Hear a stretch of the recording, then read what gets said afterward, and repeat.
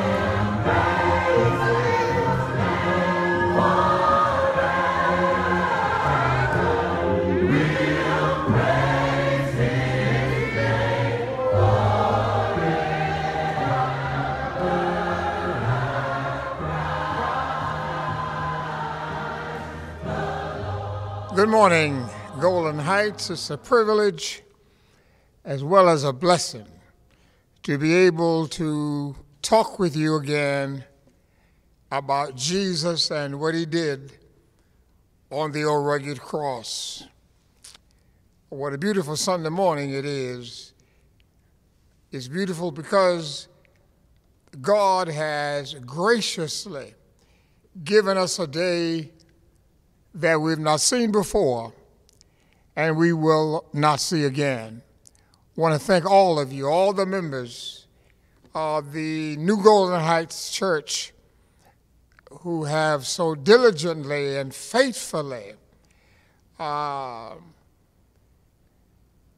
been faithful in the support of the church uh, since we have been uh, shut down. Now, of course, you you uh, have been watching television.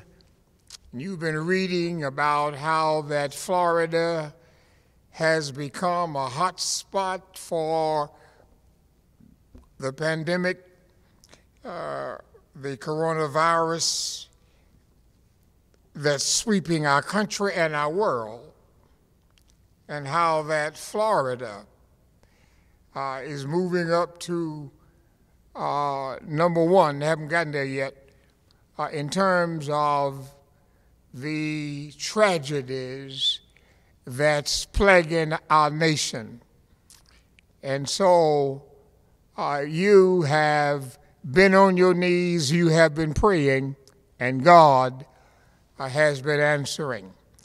Now we're moving toward our prayer uh, that precede our message for the morning, and we want to welcome uh, into our service and into our uh, worship this morning uh, our media church from around the world, uh, members of churches of Christ across the nation, have been faithful in listening and viewing uh, our program, and we are most grateful for your uh, participation uh, in the services, worship service virtually of the New Golden Heights Church of Christ. We're just grateful for um, your sharing with us. And the uh, our media church is coming in, and you are sending us greetings, and we greet you. Uh, that is, members of uh, churches of Christ from around the world, we greet you. And we want you to know that we're just so grateful that uh, you are interested enough uh, to share in our worship here at the New Golden Heights Church of Christ. So, from the New Golden Heights to all of those of you around the world, we are grateful for uh, your attention uh, and your stick to itiveness uh, as you share with us uh, and even another uh, presentation of God's everlasting word. So while our media church is coming in and while those around the world are getting comfortable to share in our service, we're going to have a word of prayer. And we would ask you now, wherever you are, to bow your head and share with us in this prayer. Our Father and our God, we are just so grateful that you are our God and that you are our Father. And we want you to know, our Father, that we love you and we thank you for your care, for your mercy, for your love, for your grace, and for your favor.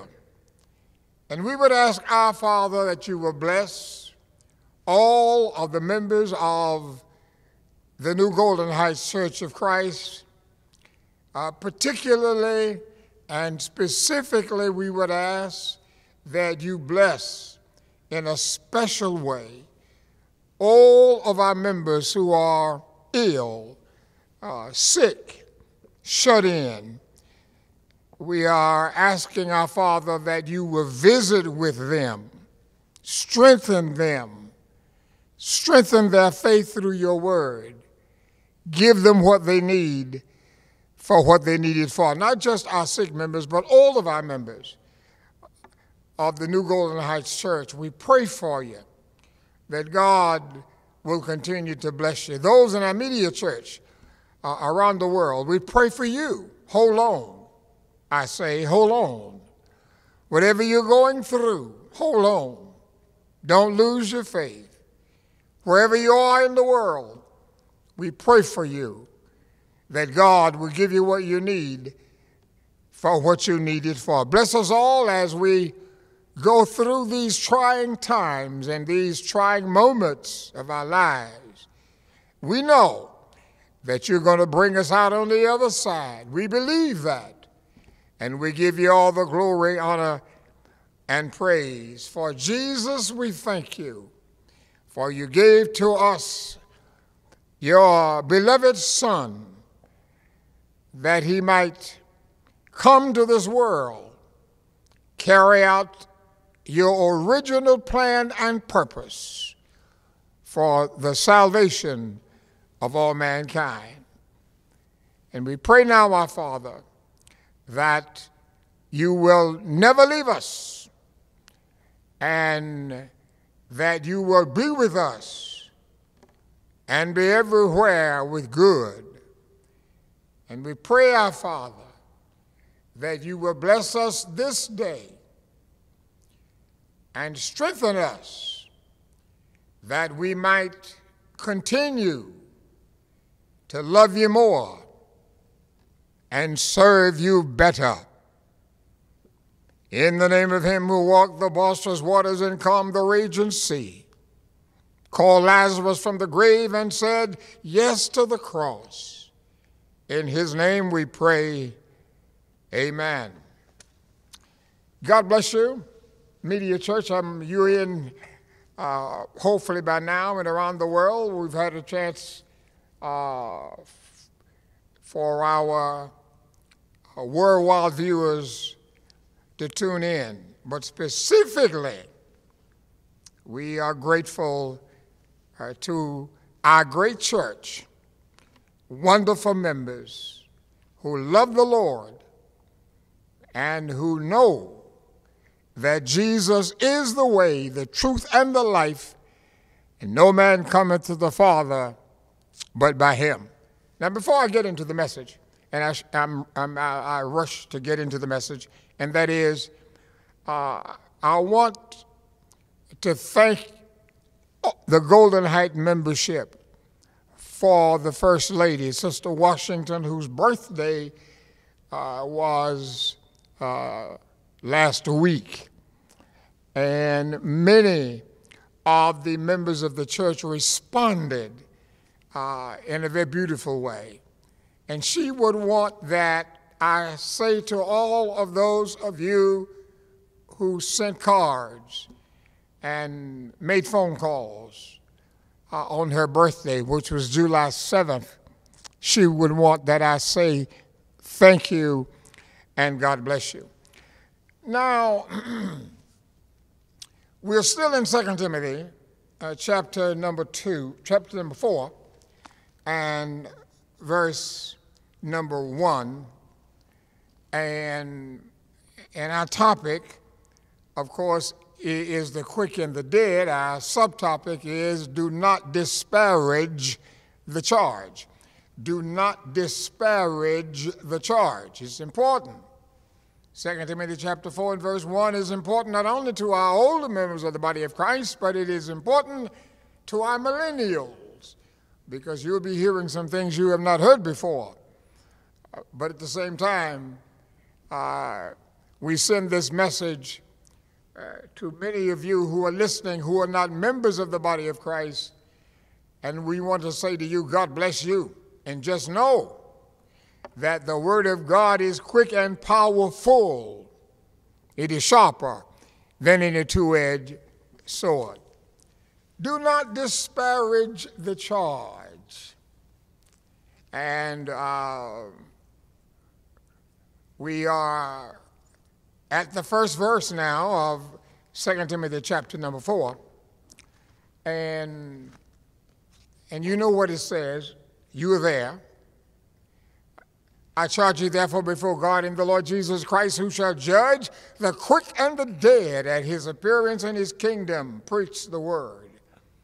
Be instant in season, out of season, reprove and rebuke and exhort with all long suffering and doctrine. For the time will come when men will not endure sound doctrine, but they shall heap to themselves. They shall heap to themselves teachers having itching ears, and they shall turn away from the truth and shall be turned unto favor. We're dealing, of course, with that first. Uh, with that first verse, I charge you, therefore, before God and the Lord Jesus Christ, who shall judge the quick and the dead at, and I dealt with that at last time at his appearing and his kingdom. 2 Timothy chapter 4 and verse 1 is so important to those of us who are members of the body of Christ that it brings to mind, and Paul wants us to know, holding on to the word, preaching the word, teaching the word, preaching the gospel, maintaining the doctrine of the apostles is so important that Paul referenced the judgment, which is but to say to those of us who are preachers and teachers and ministers in the body of Christ, don't you forget that the gospel, the word of God, is so important that every time you preach it, preach it with a view of the judgment, in that you're going to have to stand before the judgment bar of God. Now, I think I said last time that I would be dealing with the two dimensions uh, of the kingdom. Two dominions, not dimensions, two dominions of the kingdom. And, and quickly now, I'm going to uh, teach from that proposition this morning. Two dominions of the kingdom. D O M I N I O N S, dominions. The two dominions of the kingdom. That's what's going on here in 2 Timothy chapter 4 and verse number 1, where Paul said, I charge you therefore before God and the Lord Jesus Christ, who shall judge the quick and the dead at his appearance. At his appearing. And that reference is the second coming of Jesus Christ. But now, the two dominions of the kingdom. I'll say as much about the kingdom as I possibly can, and then I'll deal with the two dominions of the kingdom. So just know, those of you who are members of the body of Christ, and those of you who are members, uh, who are not members of the body of Christ, just know that there uh, are two dominions uh, of the kingdom. There are two dominions, D O M I N I O N, two dominions of the kingdom.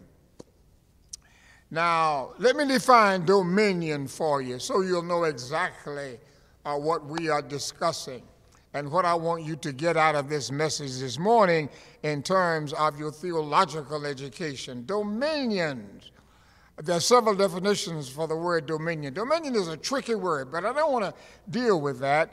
Uh, not only is it, is it a tricky word, but it is a pregnant word. Uh, that is, it has uh, a multiplicity of definitions. Uh, but I'm going to uh, deal uh, with it from the standpoint of what it means to those of us who are members of the body of Christ. Definition now. Uh, get ready to write this down. Definition of the word dominion. Dominion means power. Dominion means rule. Dominion means authority. Dominion means reign, R E I G N. Dominion means kingdom. Now, uh, once again, the word dominion. The word dominion means power. The word dominion means rule. The word dominion means authority. The word dominion means reign. The word R E I G N, the word dominion means kingdom.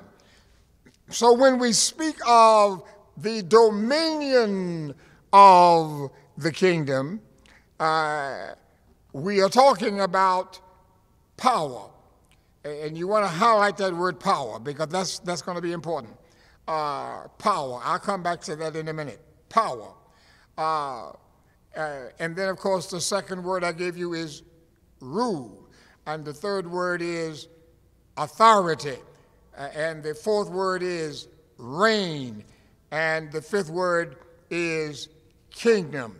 Now, we first meet this word, dominion, in the first book of the Bible, which is Genesis, uh, chapter number 1, verse number 28, where God gave dominion to Adam and Eve. He gave them dominion over the earth and all of the living creatures on the earth. He gave them dominion. Now, that word dominion, dominion in the Hebrew is manleka.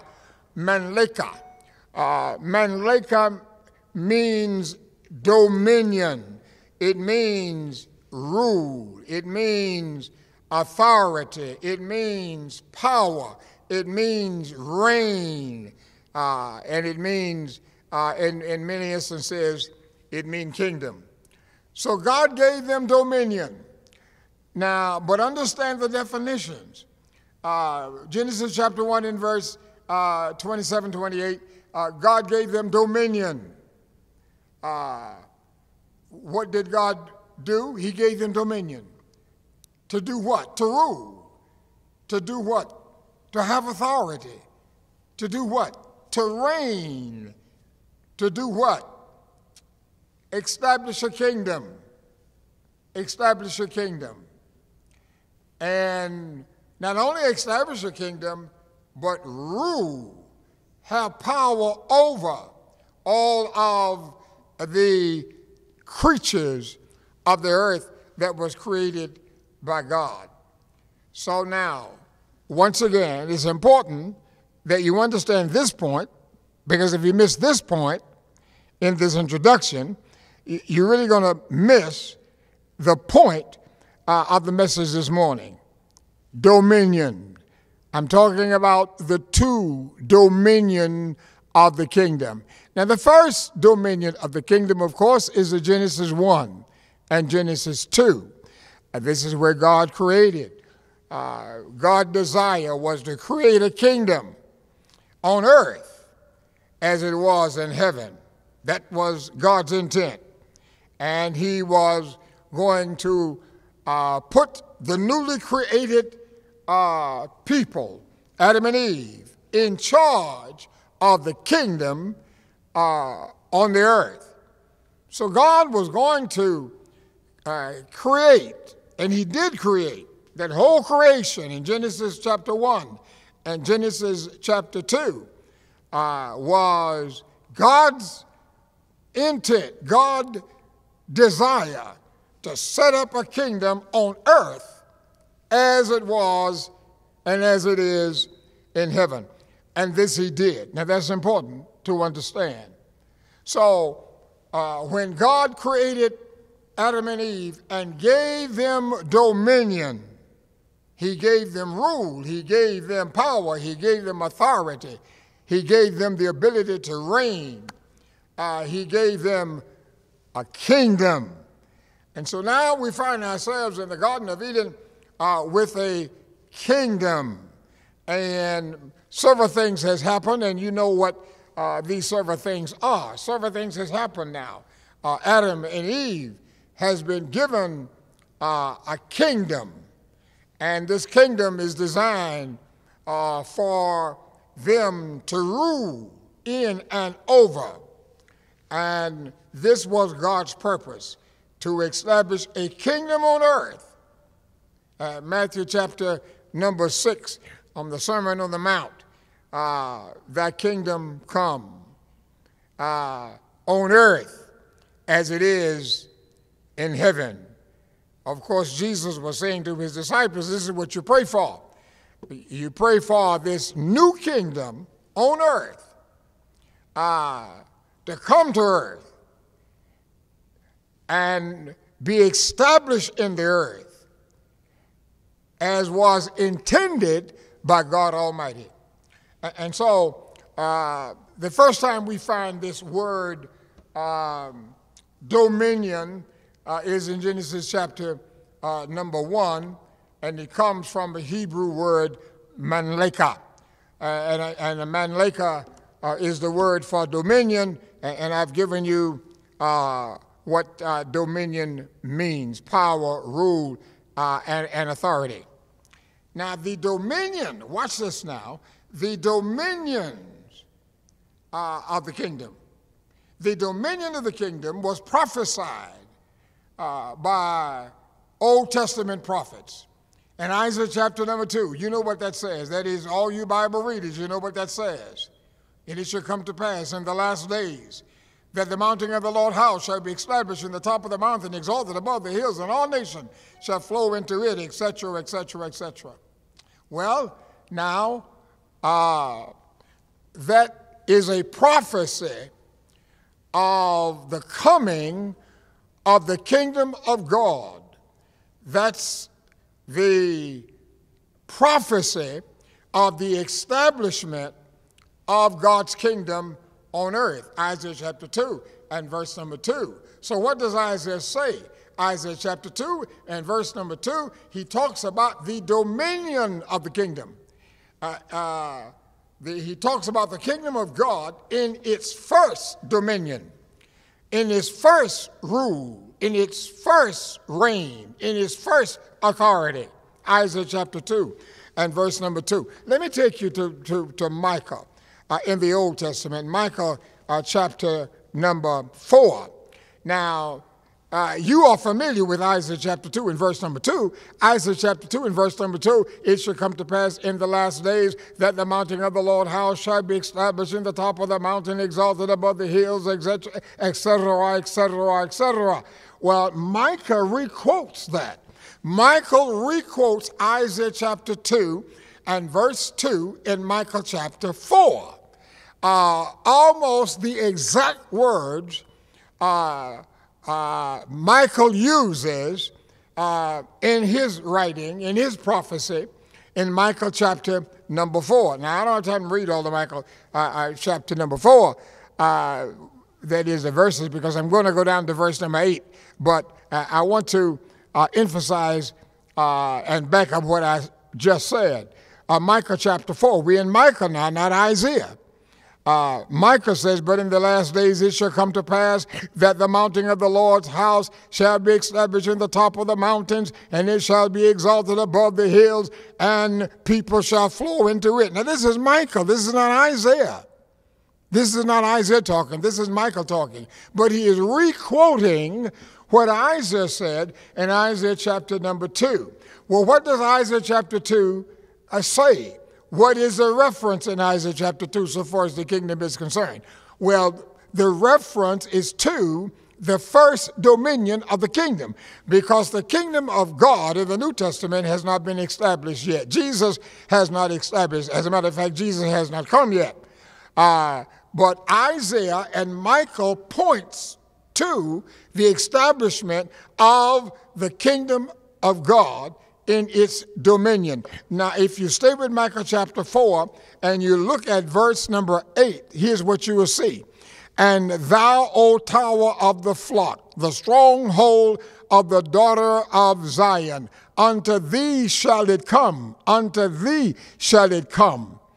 Uh, verse number one, you, you through verse number five, unto thee shall it come, even the first dominion Micah talks about the first dominion. And that's what I'm talking about. I'm talking about the first and second dominion of the kingdom.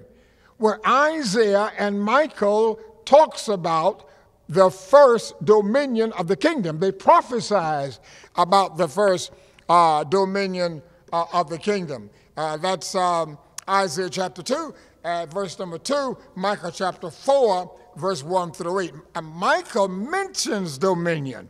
It's in verse number 8 of uh, Micah chapter 4, uh, Micah says in the latter part of the eighth verse, even the first dominion, that's where I got this text from, even the first dominion, the kingdom shall come to the daughter, uh, to the daughters of Jerusalem. So we're talking about the kingdom in his first dominion. Uh, Micah and Isaiah, they're prophesying about the coming of the kingdom in his first dimension. Now, not only are they doing that, but in Mark chapter 9, in verse number 1, Jesus says, Some of you standing here shall not taste of death till you see the kingdom come with power. What does dominion mean? Dominion mean power. So uh, Jesus now, or Jesus is preparing the people, his people, for the first dominion of the kingdom. Some of you standing here shall not taste of death until you see the kingdom come with power. That's the kingdom in the first dominion. Don't forget that. Isaiah prophesied about the kingdom in his first dimension. Uh, Micah prophesied about the church in his first dominion. Jesus refers to the church in his first dominion. Some of you uh, uh, shall not taste of death until you see the kingdom come with power. He is referring to the kingdom in his first dimension. The kingdom has not been established yet because the kingdom is not going to be established until you know, uh, until after Jesus uh, is risen from the grave and has gone back to heaven. Uh, uh that of, that's, that's of course that of course is when the kingdom is going to be established. And not only that, but uh, in, in Isaiah chapter, uh, in Acts chapter 1, and verse 8, Jesus said, You shall receive power. What does dominion mean? I told you to circle that word power because I was coming back to it. Uh, Jesus says, uh, You shall receive power when the Holy Ghost has come upon you. He is pointing to the day of Pentecost because it is on the day of Pentecost that the first dominion of the kingdom will appear. That's why Jesus came. He came for the purpose of establishing the kingdom of God in its first dominion. I'm trying to hurry here, but there's a lot that, that I need to say. But, uh, but, but I want you to know that Jesus referred to the kingdom in its first, dimen- uh, uh, first dominion. Uh, now, uh, we understand, those of us who are believers, those of us who are members of the body of Christ, we understand that the church of Christ was established on the day of Pentecost. That's the first dominion. That's the first dominion of the church of Christ. It was established in the city of Jerusalem on the day of Pentecost by the apostle after the first resurrection of Jesus Christ. And when the church was established in the city of Jerusalem uh, on the first Pentecost after his resurrection, that's the first dominion of the church. Now, don't forget the definition and go back to it and look at it. I don't have time to do all of that. But uh, uh, the definition of it uh, references power, authority, reign, kingdom, and all of that sort of thing. So when I use the word dominion, I'm talking about the reign of, the kingdom of God. When I use the word kingdom of God, I'm, I'm, I'm referring to the power of the kingdom of God. I'm, I'm referring to the authority uh, of the kingdom of God in his first dominion. In his first dominion simply means when it was established. That's the first dominion. Uh, that was spoken of by Isaiah chapter 2 and Micah chapter 4. That's the first dominion of the kingdom. And it was to exercise power, it was to exercise authority in the world because Jesus was going to reign he's going to reign. Now, you know uh, the, the text that talks about uh, the kingdom uh, is with, with, uh, within you. That's the reign. And, and, and, and if you will note that uh, and pay attention to that word dominion, uh, reign, and authority, and power, and all of that happened on the day of Pentecost. When the church of Christ was established on the day of Pentecost, that was the first dimension of the church of Christ. That's the first dimension. Uh, the first century Christians were in the first dominion of the kingdom. 3,000 obeyed the gospel, and they became the first to enter into the first dominion of the kingdom. And of course, the disciples went uh, through throughout the then known world preaching the gospel of Jesus Christ during the first dominion. And people obeyed the gospel. Uh, as a matter of fact, the apostle was accused of turning the world upside down with the gospel of Jesus Christ. But that's the church in its first dominion. Paul was in the church, in the kingdom, in its first dominion. Now, let me show you how you connect Colossians chapter number 1 and verse number 13. Uh, Colossians chapter 1 and verse number 13.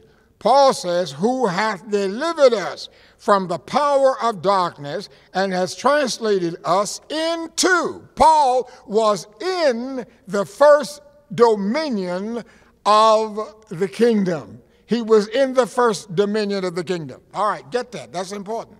Not only was Paul in the first dominion of the kingdom, but if you turn to Revelation chapter number one, uh, and about verse uh, number uh, number nine, uh, where John says, I, John, uh, uh, I, John, who also am your brother and companion in tribulation and in the kingdom. John was in the kingdom. Paul was in the kingdom in its first dominion. By that I mean that era when the Church of Christ was established in the city of Jerusalem on the day of Pentecost, and then throughout that first century, that's the church, that's the kingdom in its first dominion. Now, Paul was in the, the church, in the kingdom, in its first dominion. Now that's important. I, I got to quit here, but, but, but that's important. Paul was in the kingdom, in the church, in its first dominion. John the Revelator was in the church in its first dominion. Now, get this. Those of us who are members of the body of Christ, we are in the first dominion. Members of the body of Christ all across the world are in the church in its first dominion. The first reign of the church, the first rule of the church. We are in the church first dominion as I speak. As I speak, we are in the first dominion of the kingdom of God. All right? Now then, when Paul says, I charge you therefore before God and the Lord Jesus Christ, who shall judge the quick and the dead at his appearing and at his appearing and his kingdom, now we are moving to a second dominion. I want to say that again so you don't miss it. The first dominion of the church is the kingdom of God as established by Jesus Christ on the day of Pentecost, and it extends down to us. We are not members of that kingdom. We are not, mem- no, we are not, we are not members of the kingdom that Jesus established. All right?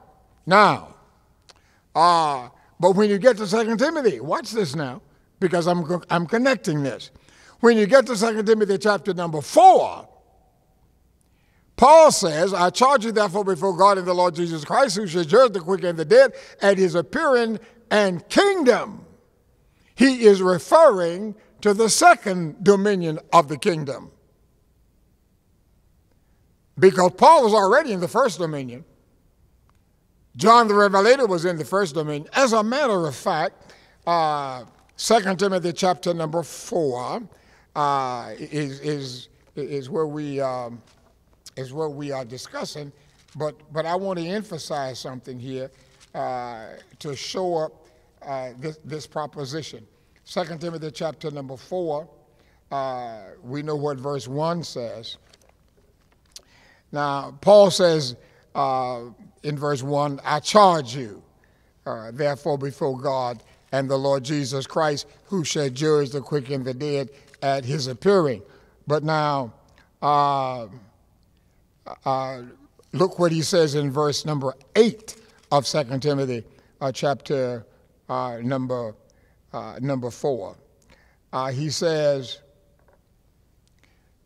Henceforth, watch this Henceforth, there is laid up for me, there is laid up for me. I don't have it now. I don't have it now. Because I don't receive what I'm about to tell you, I, I don't receive it in this first dominion. Paul is now taking us into the second dominion. He was already in the first dominion. He had already obeyed the gospel of Christ in the first dominion. He had already been translated into the kingdom of God in the first dominion, but watch what he says in verse number eight. He said, Henceforth, after this, that's the second, second dominion. He said, Henceforth, there is laid up for me a crown of righteousness. I don't have that crown now because I'm in the first dominion. I won't get that crown until I'm in the second dominion of the kingdom. Let me, let me show it to you again. Henceforth, there is laid up for me a crown of righteousness, which the Lord, the righteous judge, shall give me in that day. He's referring to the second dominion of the kingdom. So then, in uh, 2 Timothy chapter number 4, it becomes powerful. And we should not disparage it because it is so powerful. And the teaching of 2 Timothy chapter 4 is so powerful. Paul admits that there is something yet for me to receive. There is laid up for me a crown of righteousness which the Lord shall give me in that day. What day is that? The day of the second dominion. Dominion. When is the second dominion? When Jesus come back. And that's what we see in, in verse number one. At his appearing. So at his appearing is the second dominion of the kingdom. Second Timothy chapter 4 and verse 1 does not refer to some thousand year reign. What it is referring to is what Isaiah referred to. What it referred to is what Micah referred to, and that is the second dominion of the kingdom, which Paul says, There is a crown laid up for me. Where is that crown? In the second dominion. When is the second dominion? 1 Thessalonians chapter number 4, verse 15, 16, 17. You read it, write it down, read it. And that's when the dead in Christ is going to rise first. And they are going to meet the saints who have gone on, who were members of the first dominion. They will meet them, and, and the second dominion will begin of the kingdom of God. So, heaven and the crown of life that Paul was waiting for is to be received in the second dominion. The first dominion of the kingdom is the establishment of the kingdom on the day of Pentecost. The second dominion of the kingdom of God is when we are caught up together with the righteous that comes back with Christ, we will join them in the presence of Christ and go back with him on the clouds of heaven, and thus begins the second dominion of the kingdom of God. We want to be. Now, you see, you and I, Golden Heights, you and I are in the first dimension. And our job is to work diligently to make sure that in that great getting up morning, when the last trump of God shall sound, when Jesus come back with the saints on the clouds of heaven, we will join those saints and we will forever be with the Lord. That's the second dominion of the church. That's the second dominion of the kingdom of God. And we should work hard, diligently, to be a part of the second dominion of the kingdom. Now, let us not be like Adam was and Eve was. They lost their dominion in the Garden of Eden. When the devil entered the garden and tried and succeeded in getting Adam to eat the fruit that God said don't eat, Adam lost the kingdom that was given to him by God Almighty. He lost it. I'm going to prove that in just a minute. I know this is getting a little long, but I want to be sure you understand it. Uh, Adam lost, Adam, Adam and Eve lost the kingdom. And it is a terrible thing to lose the kingdom of God. Now let's look quickly at what it meant to the world and what it meant to Adam and Eve when they bowed to the satanic devices of the devil. What did they lose? You may, you may want to write these down. Uh, what did they lose? They lost the kingdom. Because God's intent was to establish a kingdom ruled by his children, Adam and Eve but they lost it. They lost the kingdom. What did they lose? Number one, they lost their connection with their source of life. If you're out of the kingdom, you don't have a connection to your source of life. That's number one. Number two,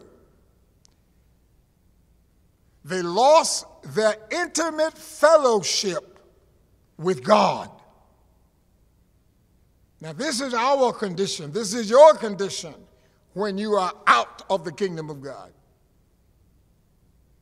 Third thing that they lost they lost their dominion over the earth. They lost it when they said yes to the devil. Number four, they lost their freedom and, and, and became slaves in the kingdom of darkness.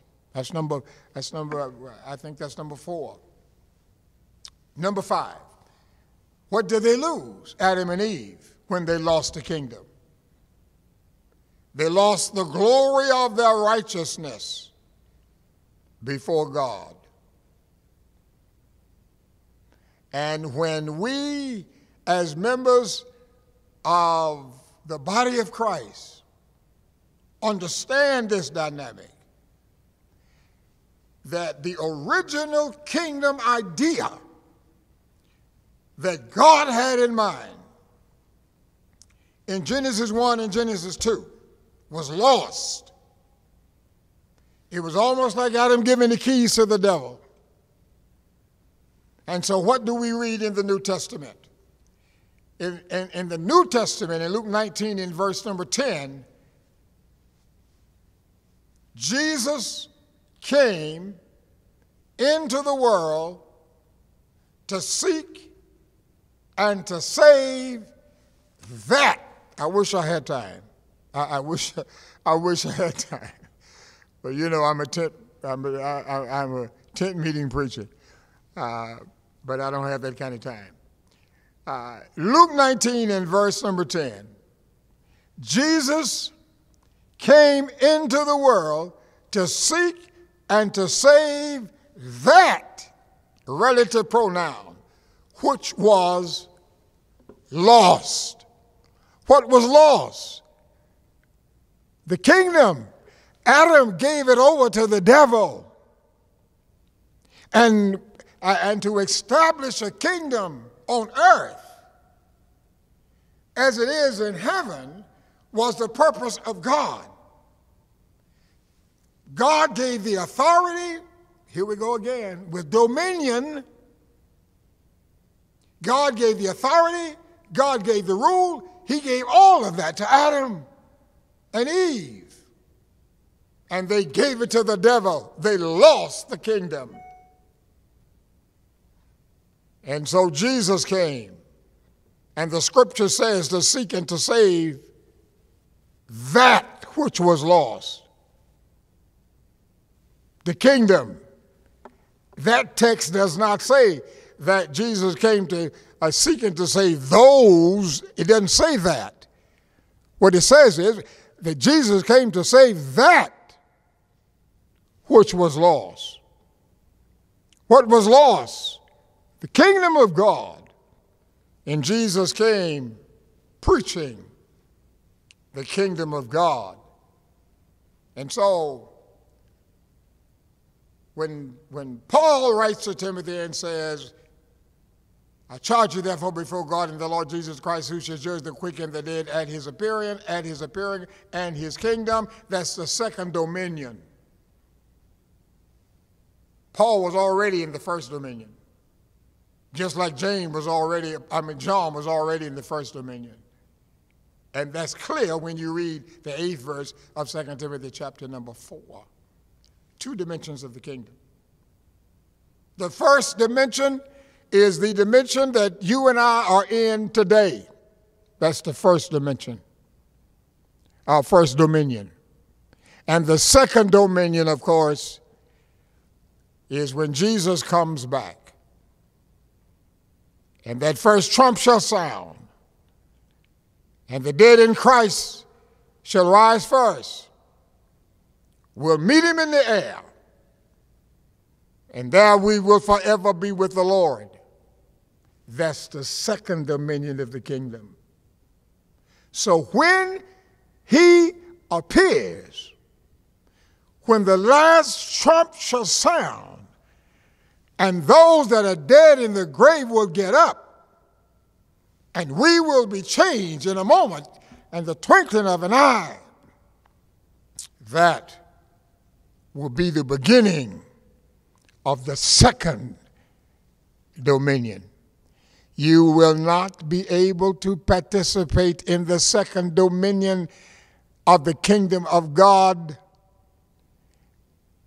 if you do not get in the first dimension. And you get in the first dimension of the kingdom of God like those people in Jerusalem got in, like Cornelius got in, like the jailer got in, like Lydia got in, like Paul got in, like John got in. So if you want, now here is the key. If you want to go back to heaven with Jesus when he comes the second time, which is the second dominion of the kingdom, you're going to have to be in the kingdom now, which is the first dominion of the kingdom. if you are not in the kingdom in the first dominion. That's, that's now. That's now. That's now. If you're not in the kingdom in its first dominion, you will not be in the second dominion of the kingdom. And that's when people of God, children of God, believers go back with Jesus on the clouds to forever be with the Lord. In that land where there is no tears, there is no, there is no death, there is no pain, there is no sorrow. That's the second dominion of the kingdom. And that's what Paul is talking about here in 2 Timothy chapter number 4. Brother Preacher, how do I get in the kingdom in this first dominion? John chapter 3. Except you be born again, you cannot enter the kingdom of God. First dominion. How does one get in the kingdom, preacher? You must be born again. How do I how do I be born again? How do I become born again? Just like they did on the day of Pentecost. When they heard the gospel, they believed it. They ask the question, What must we do? And here comes the answer repent and be baptized. Every one of you.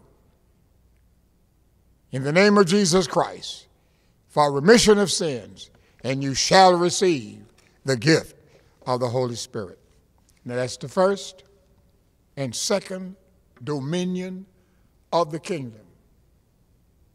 And all of those of you, include me, who are members of the kingdom, the body of Christ, established by Jesus Christ, we in the first dimension. Let's be faithful.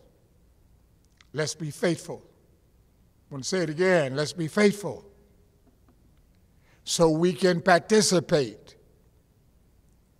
in the second dominion of the kingdom when Jesus comes back again. God bless. Now, if you have questions, you send them to us, and uh, you can just type them up. You know how you use your phone there. Uh, and you can make a comment, ask a question, and I'll try to help you if I possibly can. Are you in the kingdom? Now, those of us who are in the kingdom, we're getting ready now for communion. And we are asking those of you who are members of the body of Christ wherever you are all over the world, you can participate with the Golden Heights Church as we commune this morning. We do this every first day of the week. And so we're going to ask now that wherever you are in the world, wherever you are, wherever you, wherever all believers are that are in the kingdom, we're getting ready to commune. And we're going to commune with the cup and the bread. Matthew 26 and verse number 26. 1 Corinthians chapter 11, verse 23. Acts chapter 20, verse number 7. Let's pray for the communion. Our Father, thank you for the communion. Thank you for your Son. And we commune this morning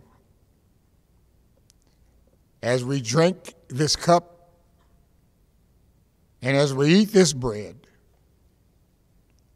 We do it with Jesus on our minds.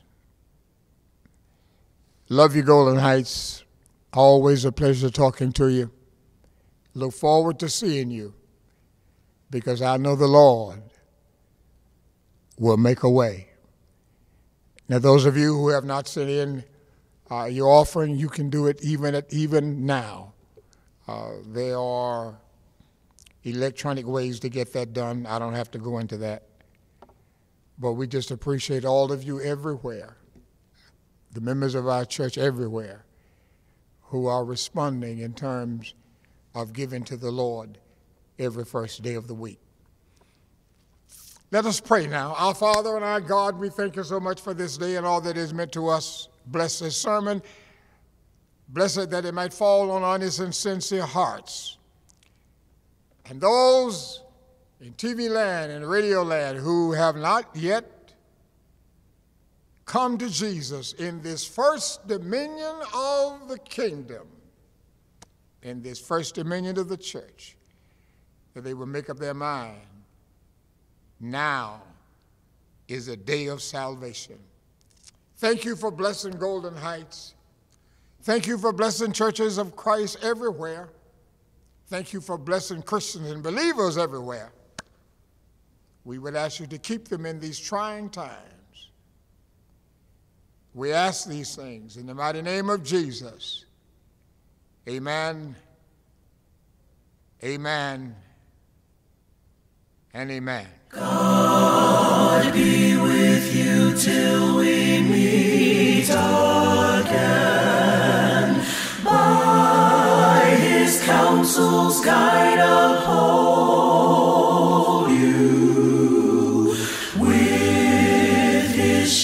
securely fold